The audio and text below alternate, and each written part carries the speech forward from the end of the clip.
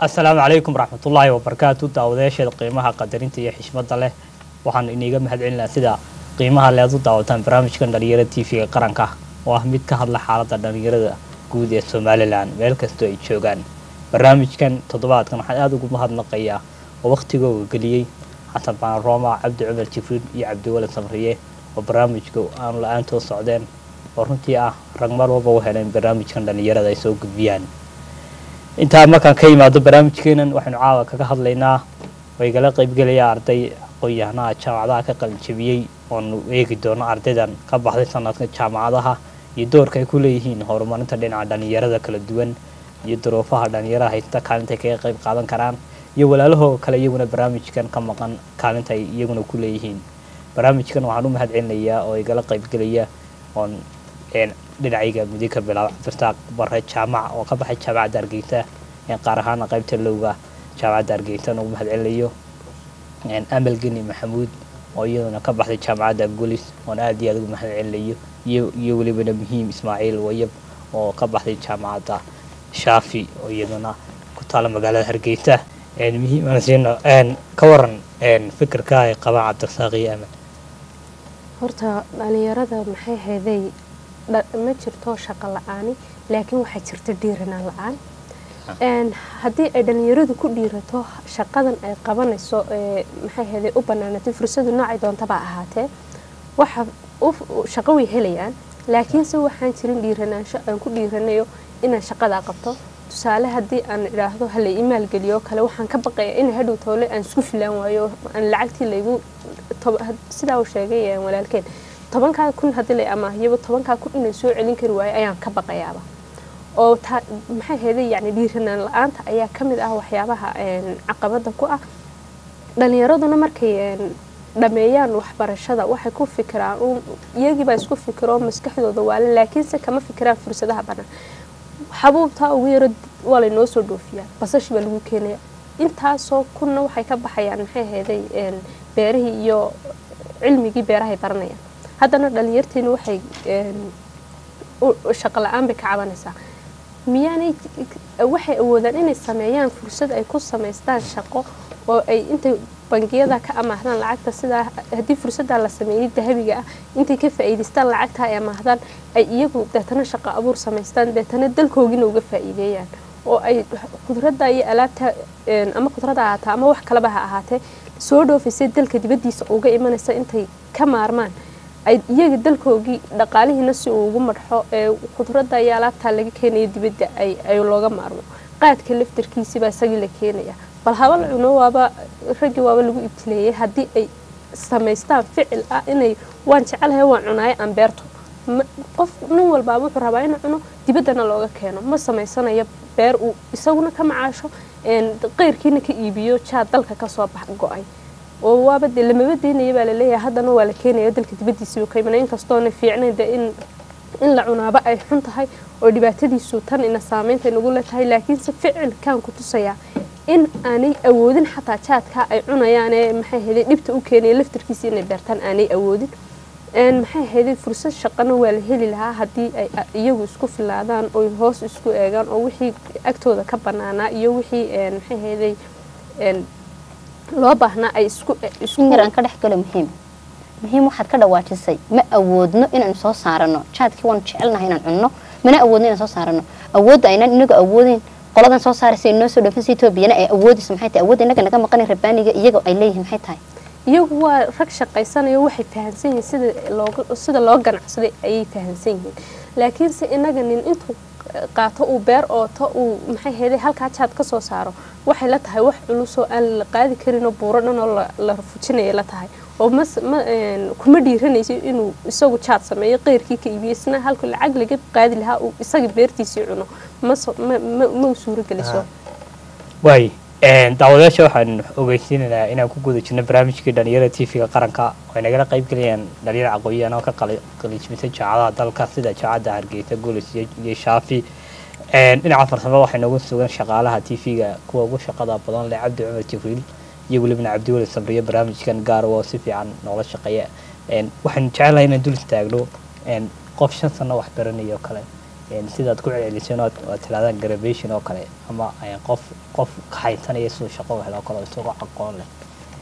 Markaan aragno qofkaan aqoon lahayn waa la garto dee qofka aqoon ma laho meel baa la geyn karaya laakiin qof jaamacad galo shan sano dhameeyey maxaa keeni kara inuu qof dabagalo ilaa ama wax soo bartay haddana hebel sheego. waxaa mas'uuliyadda iskale bolosiga wadanka. Bolosiga wadanka ayaaba ku dhisanba qabyaalad oo reeraynu ku dhisannahayba markeena horeba qabyaaladani maaha mid dhalinyartan iyo waxbarashadu qurata saameyn ku leh. Ay, waxaanay ka soo bilaabmaysaa xisbiyada siyaasadda. Wad ogeyd xisbiyadii siyaasadda doorkii dhowaa ee golaha deegaanka loo tartamayey nin kasta qabiilkiisa soo saarayay qof kasta markuu soo sharaxayo iskuma soo sharaxayo cilmigana leeyahay bulshadii halay doorto. Oo waxaan waxaan wadanka u qabanaya waxaan waxaan soo kordhinaya ee qof kasta wuxuu eegayaa cidda ka dambaysa. Reerkiinu ma ku soo saarayaan mise kuma soo saarayaan nin isagu intuu cilmi leeyahay inoo imaado oranay cilmigaasan leeyahay igu doortayna ma jiro nin kasta odayaal baa soo sharaxda reer hebel baa shiraya hebel baa anaga noo sharaxan hadduu hebel kale reerkaas ka soo sharaxo tanaasul baa la oranaya aduu hebel kana kan kaloo walow ka cilmi badnaayo b h d ama dalka dibadda isku diyaariya ama dalka gudihiisa isku diyaariya oo ka cilmi badnaa la oranaya hebel banu anagu soo saarayna adiga waxba kuma hayna iska fadhi. Markaa qabyaaladu somaliland dhan baa ku dhisan baan oranaya anu qabyaalada waay een, cabdisaaq barre sanadka baad aduu ka baxday tusaale ahaan jaamacad oo kale qoladii sanadka dhamaystaad ahayd intaadan dhammaynin ka hor markaad qalin jebiso een, miyaad aaminsanaydin inaad markaad baxdo aad cid u baahanaysid shaqooyin wax kuu raadisa? Waa kolley su'aal aada muhiima een, sidaa ay amaal kaga dhawaajisay een, dhaliinteenii waxaa iska aamineen waxyaabo qaldan oo waxay iska aamineen haddii hadhow toole aad baxdid shahaadadaadi waxay noqonaysaa talabaad. Waa inuu caaqil kaa horreeya oo la yidhahdo caaqilkaasi hadhow wax meel ku geeya taasi waxaa eh, samayn karta inagoo intaanu gruub samaysano gruub le- eh, gruubo aynu samayno war aqoonteenaas aynu inagu ku shaqaynaynaa aynu sameyno marka ugu horeysa aynu u aqoonsano qabyaaladu inay tahay jaahilnimo iyo cudur. Cudurkana in lagu faano maahay laakiin inagu maanta waynu ku faanana meel walba waa lagaga sheekeynaya. Waa lagu soo toosaa iskuulaadkii bay baraysaa meel wax iska caadiya noqotay. Markaa marka ugu horeysa inagu aqoon ahaan inkastoo waxaan ay adag sidii loo tirtiri lahaa. Haddana aynu aqoonsano inaynu noqon karno kuwii ka tegi kari lahaa markaa maan aaminsaneyn inay ahaato laakiinse haddana duruufaha qaar waad aaminaysaayo haddana waxaad oranaysaa bal kolleyda sidii ay amaalba kaga dhawaajisay bal in marka ugu horeysa bal qofa kaa horeeyo markaa runaantii taasi maan aaminsanayn laakiinse haddana some, of waan yaro aaminoo kale ayaan u malayn karaa. Waxaad kolodna weydiisay arday shan sano wax soo baranaya ama afar sano ama saddex sano oo dalkii ka baxayo oo haddana dhismoora sameynaya waxyaabaha ugu wacan waxyaabaha ugu wacan waxaa ugu horreeya aqoontii u bartay oo run ahaantii aan wax isbeddel ah ku sameynin aqoontaad baranaysaa inay isbeddel kugu samayso. Oo ninkaasi shanta sano soo eh, een, wax soo baranayay isla markiiba inuu tahriibo. Marka waxaan leeyahay dhalinyaradana aan ka wacyigelinaya inay aqoontooda iyo diin diintoodaba ay kor u qaadaan. gabagabada wacyigelinta ku qaadan doonaa. Muhiim ka waran sidaan sheegno kale maxaa keeni kara in qofkii isagoo aqoon leh haddana ay u doorbido in uu u baahan yahay in cid taageero siiso? Waxaa keenayaa inay anigoo maanta bartayba tusaale caafimaadkiiba bartay oo ka soo qalin jabiyey ayaan waxaan waayayaa maxay helay fursad shaqo. Deetana waxa waxay kalifaysaa shaqo la'aantaydaasi inaan ka shaqeeyo meel aan layga baahnayn oon caafimaadba shaqaba ku lahayn. Qof hebel kaloo adeerkii dhakhtar iska leeyahay oo isagu bartay engineeringkaba ayaa la odhanayaa maxay heday bilaa shaqu noqday. Adeerkiibaa u sameynaya fursad shaqo geenaya dhakhtarkiisuu ka shaqeynaya ninkii injineerka ahaa wakaa dhakhtarkii ka shaqeeyay. Anigoon maxay hayday caafimaad bartayna waxaan tegayaa maxay hayday meel aan caafimaadba shaqo ku lahayn. Taasaa keentay inay maxay hayday dhalinyarada qabyaalad inta badan shaqada ka hor joogsato oy u waayeen inay maxay hayday ka helaan maxay hayday bilaa qabyaalad haddii ay ku shaqayn lahaayeen qof walbaaba wuxuu heli lahaa wax ku saab wax ku tacalluqa cilmigu bartay. Tusaale haddii aan anigu maxay hayday ka soo hor yacni aan yacni cilmigan aan bartay markan dee aan ku waayo fursad shaqo waxay gu dhacaya dhismoorar waan ka tegayaa dalkii waxaan ka mid noqonayaa haajirayaasha dalkii ka tegay amaba waxaan noqonayaa balwadayste fadhiistay meel oo maxay hayday qabyaalada halka lagu qaybinayayba oo ade halkaa lagu mirqaamay jaadka lagu cuno ayaad fadhiisanaysaa halkaas shaqadaadi inta daydayn lahayd ayaad halkaa ku baarkin garaysmaysaa abaad iska fadhiyaysaa ayaad odhanaysaa shaqo ma jirto waxaan waayay fursad shaqo adeerkay baa ii diray dhakhtar oo anigoon cilmi caafimaad baran halkiina waan ku soo guulaysan waaya waayo waxaanan baran dee ma kama shaqayn karayo waxay noqonaysaa way igu adkaanaysaa. Wixii aan bartay oon fursad u hayana waxaa waxaan u waayaa meel aan u maro dariiqad aan u maro. Markii qabyaalad hor istaagto waay aad baad mahadsan tahay. Markaan eegno guud ahaan een, jaacadaha kun iyo wax ka badan baa ka soo baxa qaar sideed boqol markaan eegno qofku keligii uu shaqo samaysto oo kale. Haddaan dhalinyartaa shaqooyin loo wada helin oo kale. Een, dhalinyarteena ma ku baraarugsan yihiin inay iyagu shaqo abuur samaystaan iyagoo u gaara way xagga hoose ka soo bilaabeen si ay kor u gaadhaan oo kale. Dhalinyartu way samayn lahaayeen. Laakiin waxaan la helin maalgelin. Qofku markuu haysta wax lagu taraa oo qofku hadduu haaf haysto in wax lagugu taraa suurtagala laakiin markaad tiraahdo waxaan samaynaa job opportunity oo new business idea igu jirta ee halaygu maalgeliyo ayaan lagugu maalgelinaynin. Anigu markaan sanadkan qalinjibiyey jaamacadda labada kun iyo shan iyo tobankii golis university baan ka baxay. Waxaan wada qalinjibinay arday kun iyo konton arday baan golis sanadkayga kaga baxnay. Kun iyo kontonkii arday dee inta shaqaysa way cadad way yar tahay marka ma oran karo jaamacadda ayaa dhaliisha leh oo jaamacaddu aqoontii way ka soo baxday iyadu weygeedii oo aqoontii way soo gudbisay waana bartay dhalinyartii aqoontii way- keentay.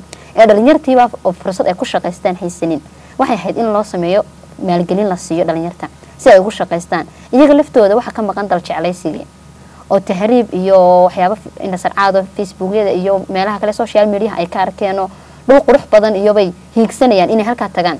Oo dal jeclaysigiibaa inaga maqan iyo wadaniyadiibaa inaga maqan marka abwaan xikmaawi ayaa gabaygiisa ku jirtay yurub taa barwaaqa soorankee baarka sare gaadhay. Bisadaha marbay cuni jireen iyo bahalo nool nool. Marka marba yurub ahayd sideena iyo si ka daranba oo bisadaha iyo bahalo nool nool bay cunayeen. Ee maaha yurubda quruxdan mid ku soo dhalato ilaahay ku abuuray. Ninkaa yurubte ninkaa een, westernka ee wadankiisa dhistay baa awood waxaad leedahay inaad wada- wadankaaga ku dhisatid ictiraaf la'aan baana haysa ha ku marmarsoonin ee adigu qabo shaqooyinkii uu qaban lahaa Qofka dhalinyarta ah wuu tahriibayaa wuxuu tegayaa yurub. Shaqada uu horeyso bilaaba dhulku xaadhayaa een, waashmaan buu noqonayaa wuxuu ka bilaabayaa meelaha ugu hooseeya.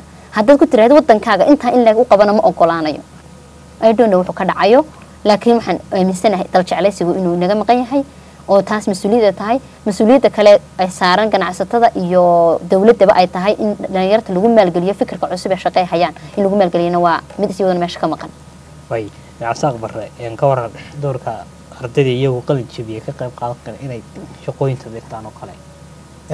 Waxay ka qaadan kartaa door aada u muhiima waayo qofka waxaa lagu soo markii ugu horeysay la soo baray bal sidii uu dee yacni noloshiisa uu u maareyn lahaa. Run ahaantii waxaan oran karaa saameyn weyn buu ku yeelan kartaayo uu maareyn karaa. Oo dee sida ay amaal sheegtay yurubtaas iyo waxyaabahaan arkaynaaba maalin qurata laguma dhisin ee horumarku istabista buu baxay somalilan waxaa jirtay waqti ay aada iyo aada u daneyd alxamdulilah maanta waad arkaysaa. Jaamacadaheenii kumanaan iyo kumanaan ka soo baxaya. Waxaa jirtay waqti aynu doonan jirnay waddamada jaarka. Maanta intaasi horta marka horese waa guuli noo soo hoyatay oo aan ku faanayno. Marka labaad waxaa oran karaa dee ardaydii markii intaasoo dhan la soo baray. Marka ugu horeysa intaan loo bilaabin ha la baro bal sidii uu naftiisa ugu kalsoonaan lahaa ee uu soo saari lahaa waxyaabo ku filan. Iminka ayaa la bilaabay oon u mahad celinaya jaamacadda hargeysa iyo ururadii ka soo shaqeeyey markan la leeyahay tobankan kun waa lagu siinayaa lagama soo ceshanayay monitoring and evaluation baa lagu sameynaya dabagal laakiin ardayadii iyo wixii oo dhan ayaa loo baahan yahay bal inay sidii ay yacni bal businesska loo abuuraya ay uga soo bixi lahaayeen. Marka waxaa ka dhiman ardayda marka ugu horeysa tababar xirfadeed. In la yidhaahdo xirfado loo sameeyo aqoontooda ka hor oo manaahijta iminkana lagu daro. Marka waxaan leeyahay ardaydu inay run ahaantii de kor ay aqoontoodaasi bal ay u daraaseeyaan oo ay bartaan sidii ay bal isugu kalsoonaan lahaayeen shaqada ka hor intaana helin. Waay muhiima siinanaa bal ka waran doorka qofku inuu dhalinyaradii iskii shaqo u abuuro oo isagu leeyahay oo kale intuu cid kala sugi lahaa. Horta waaye way fiican tahay inuu qofku ka baxo intuu noqon lahaa uu shaqeeyo uu noqdo loo intuu noqon lahaa qof intuu u shaqeyn lahaa isagu noqdo loo shaqeeyo samaysto xirfad shaqo. Oo way wanaagsan tahay laakiinse waxaan jiray saan hore u sheegay dhiiranaan oo kuma dhiiranaya inaan hawshan qabto oo aan xirfadan aan sameeyo oo aniga la iisoo shaqato waa kuma dhiiranayo. Qof walbaaba waxa u muuqanaysa inta uu hebel ka shaqeynaya inaad adiguna kala shaqayso ood qof kale shaqadiisii daba fadhiisato. Sidoo kale waxaynaan ogeynba in shaqadu tahay de waxaad adu samayn karto oo qof walbaa wuxuu moodaya in shaqadu inay tahay wax samaysan deetana qof in loo shaqeeyo shaqaalo lagu noqdo. Laakiinse haddii dhalinyarada la baro sida loo qurxiyo dhulka sida maxay haday loogu shaqeeyo adigu aad u samaysan karto shaqo maxay haday way fiicnaan lahayd. Laakiinse waxaanay haysan fursado ay ku naftooda marka qof walbaaba jaamacad ka baxo inuu wax kale isku sii een, inuu shaqo hore ku helo rabaa inuu dalkiisa iyo dee dadkiisu waxay u baahan yihiin uu tababaro ku qaato oo si volunteero ku shaqeeyo een, ma ma haysto. Sidoo kale waxaanu haysan internship oo qof walbaaba markuu een, yacni cilmigan barto hadduu si dee ku shaqayn waayo oo dhakhaatiirtii kii dhakhtarka dhakhaatiirtii u shaqayn waayo kii engineerinka ahaa engineerinka ku shaqayn waayo qof walbaaba xirfadii uu bartay uu ku shaqayn waayo si bilaasha. Kuma helayo si deg dega inuu maxay hayday een, shaqo ku helo markuu is- isaguna wuxuu rabaa inuu deg deg shaqo ku helo taasaa keenaysa inuu qofku sugi kari waayo deetana intii fursad shaqo u soo baxayso uu dhismeero qaado. Een, baro jaamac oo kale markaynu eegayno doorka dowladdu ku leedahay shaqo abuur in dhalinyarada u sameeyaan oo kale. Maxaad oran kartaa in looga faa'iideyn karaa? Runtii door aada u muhiimay ku qaadan karaysaa dowladdu. Waxaa jira wadamadaaynu jaarka nahay ardaygu markuu sidaa uga soo baxo jaamacadda waxaa la siiya lacag maalgelineed oo la yidhaahdo maxaad u baahan tahay oo laga taageero dhinaca fanka yacni qof waloo fikir soo abuura. Markaa dowladdu waxyaabaha ay aadka uga qayb qaadan karto waxaa ka a doorkaasi aan soo sheegnay. Waxaa kaloo ka a inay dowladdu u samayso tababar. Hal sano oo sidii deeg experienceka hadhow toli la weydiinayo ay u yaraato. La yidhahdo xafiis yar walow ha ahaada mid yacni ku sii meelgaadho waraaqaha qorqoroo kale. Waxay ka caawinaysa hadhow toolo qofkii bal dee marka suuqii lagu sii daayo iyo dhinacii wax shaqada inay ka caawiso. Sidoo kale waxa ay dowladdu ka qaadan kartaa inay ardaydaasi ay u samayso training badan oo yacni sidii dee ay wax u soo saaran lahayn shaqaduna maaha ta maanta suuqi taale shaqooyin badan baa inoo samaysa maanta waad arkaysaa xeeb aada u ballaaran baynu leenahay kalluunkii baa ka mid a beerihii baa ka mid a macdantii baa ka mid a oo inta dee la fidiyo maamul daadejin la sameeyo la yidhaahdo kalluumaysiga oo kale iskuuleed kalluumaysiga laga sameeyo oo aynu dib u dhoofino mar dhaweyd waxay sheegtay walaashay inaynu haddii aynanu ka maarmaynin jaadka cunistiisii aanu beerano. Halkaasi waxaa inooga dhigmaya waxyaabo badan kharash aada u badan oo bixi lahaa ayaa inaga inoo kaydsamaya marka haddii aynu sameyno waxyaabahaasi oo badan oo kale oo la yidhahdo bal jaadkii beerta kalluunka laftigiisii la soo baxo idinku mar, labaad u- dhoofkeeya waddamada aynu jaarka nahay waxyaabahaas oo dhan waxaa looga baahan yahay dowladdu inay garab gasho oo la yidhaahdo oo aanay ku fadhiyin waxbaan u qabanayna oo la yidhaahdo waxyaabaha la qabanaya ay noqdaan wax reality oo la arki karo oo la taaban karayo. Oo markan aan leeyahay een, dhalinyarada waxyaabaha haysta waa garab la'aan. Garab la'aantana waa la qaybsanaya xukuumad ganacsato iyo iyaga laftigoogii dhawaaq dheer waxaan ku leeyahay aynu samaysano waxyaabahaas oo dhan. Een, hebel markaad adigu een, ka hadashid doorka ay dowladdu ku yeelan karto een, shaqo abuur in dhalinyarada lagu raadiyo maxay kula tahay dowladdu waa lafdhabarta dhalinyarada waa halka aynu hiigsanayno waa mustaqbalka. Markaad wax baran jirnay dugsi hoose dhexe iyo secondariba waxaana la oran jiray ubaxii dalkaa tihiin. Ubaxan dalka laga hadlayaa waa dadkii mustaqbalka changeka sameyn lahaa ee dowladda bedeli lahaa. Marka dowladdii muhiimad gaara ayaa ka saaran in ay iyagu dhalinyarta shaqo abuur sameeyaan. Wasaaradaha hadday noqoto iyo dowladda santaradeeda kaleba hadday noqoto. Waxaa jira urur soonyo lagu magacaabo. Magaca dhalinyarta u taagan yahay dhalinyartu wax u qabtaa. Ma lihin waxba ma qabto oo wax uu qabtaa waxna ma qabto. Wax nagu filan baanu qabanin oo aan muuqda. Dhalinyartii shaqa abuur inay iyagu u sameeyaan inay dabagal ku sameeyaan inay relationship ka dhexeeyo iyaga iyo wasaaradda shaqada iyo arrimaha bulshada. Sidoo kale wasaaradda waxbarashada dhalinyarta wadanka soo baxaysa sidii muhiim ka dhawaajisay in wixii saaxadda lagaga shaqaysanayay ee dibadda loola imanayay iyo aqoontii la baranayayba ay balance ahaadaan markaas ayay aqoontii tayo yeelanaysaa oo wax tayala aynu baranaynaa marka taas ayaa ka mas'uula dowladduna mar walba waxaan ku dhiirigelinayaa in ay dabagal ku sameeyaan dhalinyarta iyo halkay wax marinayaan. Way ee, muhiim gabagabadii baan ku dhownahay barnaamijka ee, bal doorka ay xukuumaddu ku yeelanayso een, shaqo abuur loo sameeyo dhalinyarada iyo tallaabooyinka ugu muhiimsan ee u yaalla maxaad kula talinaysaa horta dowladdu ma ma lihiin way way ka gaabsatay ama dhalinyarada uma samayso shaqo abuur ma odhanayno. Dowladdu intaa way ku dadaalaysaa oo iyada inaga jecel maxay helay inay dhalinyaradu shaqo hesho. Waayo dal wuxuu dal ku yahay ama dowladda dowlad ka dhigayaaba waa dadka iyo dhalinyarada weliba. Dhalinyaraduna waa xooga ugu ballaaran uu dalku leeyahay oo dhalinyarada iyadaa jecel inay maal gashato waanay maalgelinaysaa in badan way ku dadaalaysaa. Laakiinse waxaan jirin waxay ka badan yihiin ardaydii waxa soo baxaysay ee cilmiga soo baranaysay ee soo baxaysay iyo tankii dowladdu ay qaadi karaysay ayaa aada u kala badan. Taasina waxay keenaysaa inay dhalinyaradii in badan oo ka mid ah ay ka dhacaan nolosha. Waxaan jaamacaduhuna ma dabagelayaan ardayga waxay yaqaanaan sida loo soo kaxaysto iyo sida wax loo baro iyo sida loo sii daayo waxa fiican dabagalo intaasoo arday baa sanadkan iga baxday imisaa shaqeeyey imisaa shaqala ay dabagal ku samaysa ardayga laftarkoogii maaha inay dee a- la kala macaasho un maaha. Waa in loo turaa dantii dalka dantii dadka iyo duruufta dee dhinac walba laga eegaa. Iga raali noqon muhiim.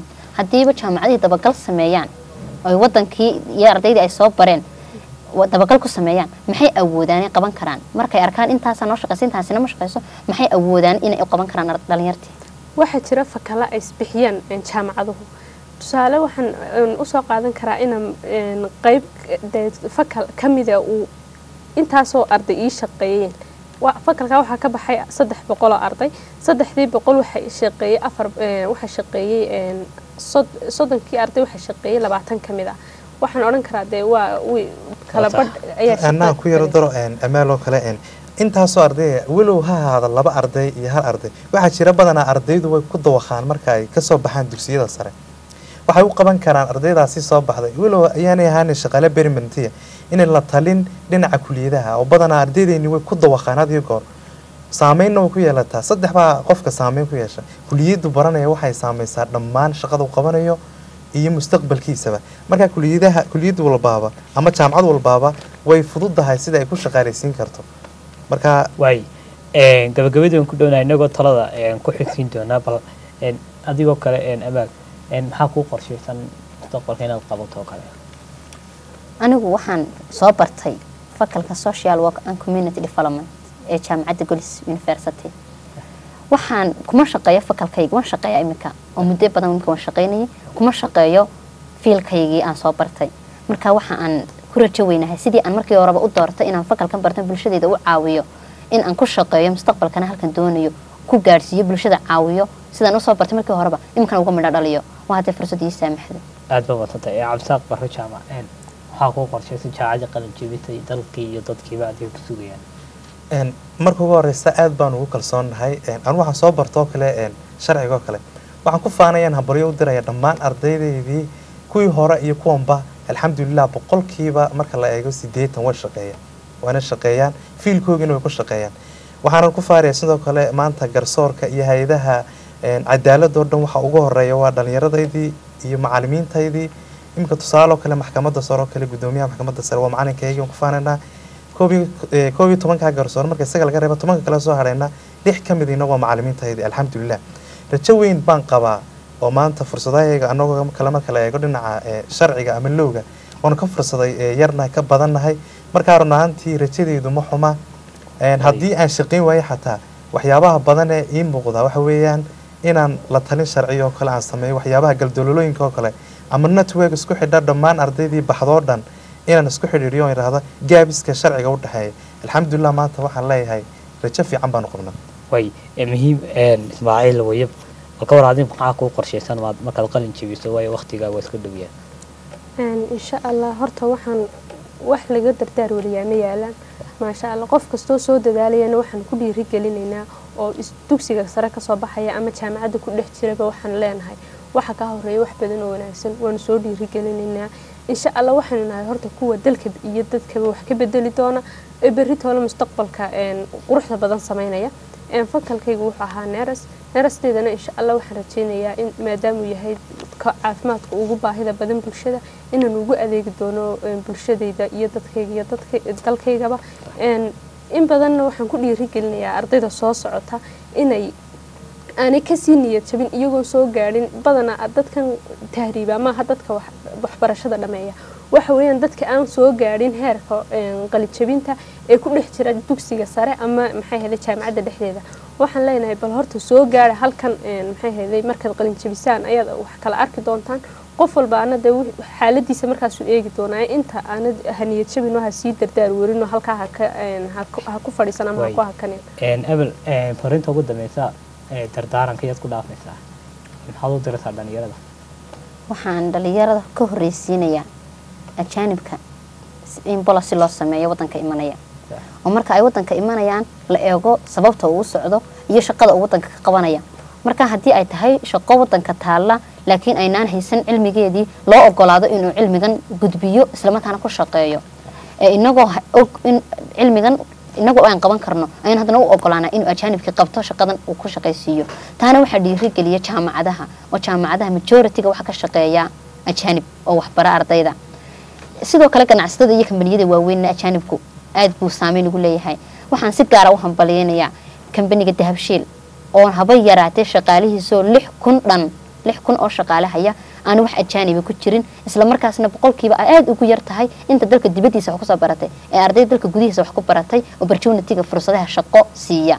Ayaan aada u hambalyeynaya marka taas marka laga imaado sidoo kale waxa aan talo siinayaa oon talo ku bixinayaa in dowladda iyo ganacsataduba ay opportunity-ga shaqo ee dhalinyarta u banaana marka laga imaado wixii new business idea kala haya ku maalgeliyaan.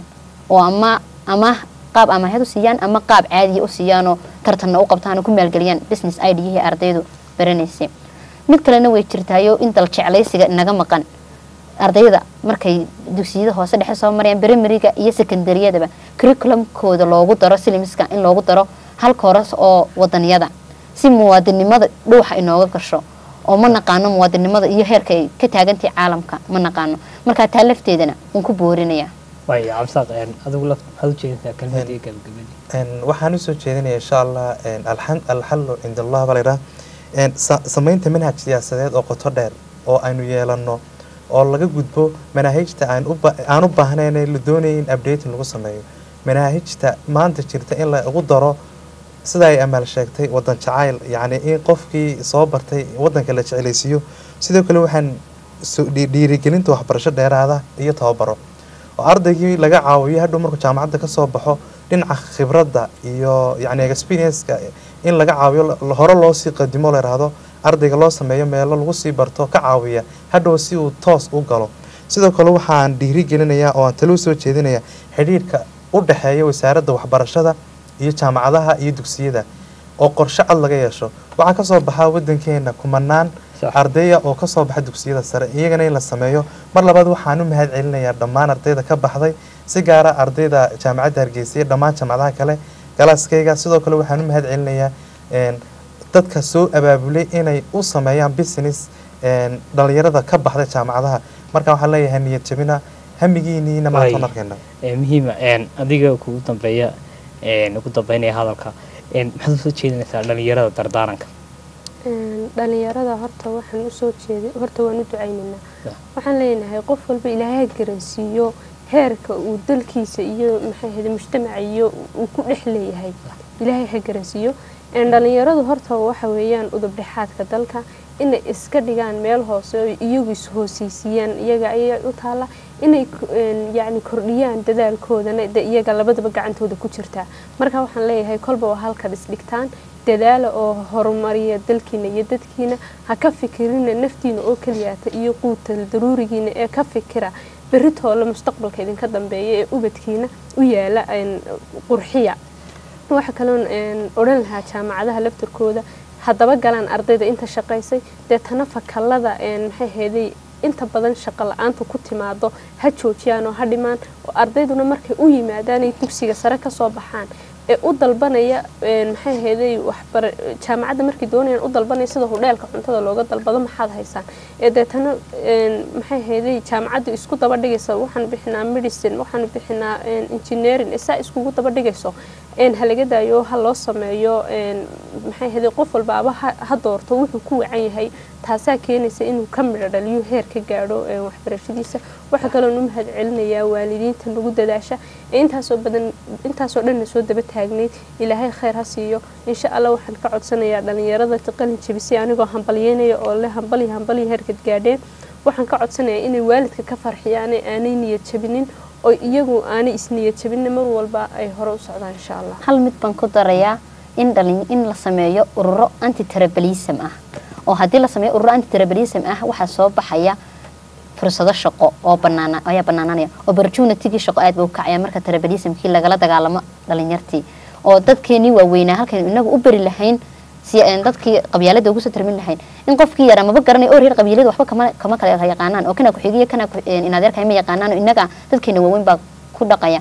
Marka in ururo ah oo dabar jarid qabyaaladana la keeno ayaan ku dari lahaa. Waxaan mar labaad iyo mar saddexaad baan hambalyeynayaa ardayda jaamacadaha ka soo baxday jaamacadaha dalkao dhan bareefad iyo publicba oon mar iyo saddexba leeya hambalyo waxaan mahad gaara u celinayaa tv-ga qaranka somalilan oo noo suurtageliyay fursaddan inaan kaga faa'idaysano iyo walaalkii siciid oo fursaddan isaguna nagala qayb qaatay. Waa tahay daawadayaal barnaamijkeenii dhalinyarada tv-ga qaranka inta ayuu ku dhan yahay. Aada iyo aad baan ugu mahad celinaya aqoon-yahanada dhalinyarada ee ka kala socday jaamacadda ama cabdirasaaq bare jaamaca. Cabdirasaaq bare jaamac oo ka socday jaamacadda hargeysa ka qalin jebiyay sanadkan qeybta looga een, hambalyaan u dirayaa amaal geni maxamuud oo iyadana jaamacadda gulis ka socotay aad baan ugu mahad celinaya barnaamijka nagala qayb qaashay nagala qayb gashay muhiima een, ismaaciil wayaba iyadana dhigato jaamacadda shaafi oo iyadana ku taalo caafimaadka wax ku bartay iyadana aad baan u mahad celinaya waqtiga qaaliga. Waxaan rajeynaya barnaamijkaas inuu noqon doono mid aad wax badan ka faa'iidaan. Hawa mahad asxaabta barnaamijkan inoo soo gudbisa waqtigooga iyo muruqooga iyo fikirkoogaba geliyey waa cabdi cumar jibriil oo ah shaqaalaha t v-ga qaranka ee barnaamijkan sida gaarka ugu shaqeeya. Waxaa kaloo isagana aada ugu mahad celinaya cabdiweli samriye oo isagana barnaamijkan dhalinyarada aada ula shaqeeya waqtigiisana geliya waxaan kaloo mahad celinaya xasan baaroma agaasimaha istuudiyaasha isaguna waqtigiisa geliyo. Isla markaana aada iyo aada noola shaqeeya. Ugu dambeyntii barnaamijka waxaa soo saara u mahad celinaya maxamed caqli hadi oo isaguna barnaamijka aada iyo aada waqtigiisa u geliya intii kale nagala qayb qaadata inta kale na jecel anaguna waxaan leenahay aada iyo aad baad mahadsantihiin barnaamij la mid a intaan iskugu imano dhammaantiin waxaan ugu dhaafinaa assalaamu calaykum waraxmatullaahi wabarakaatu